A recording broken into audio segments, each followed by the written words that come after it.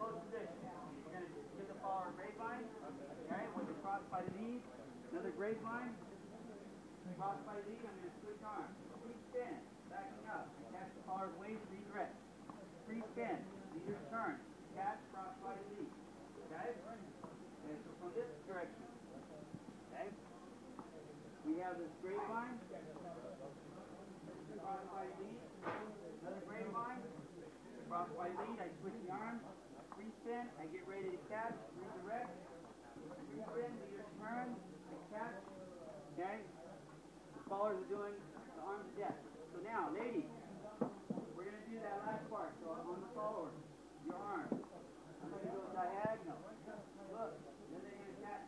Okay, so from this side, I'm taking a diagonal. Okay, and one, two, three, and four. They catch you five, six. Okay.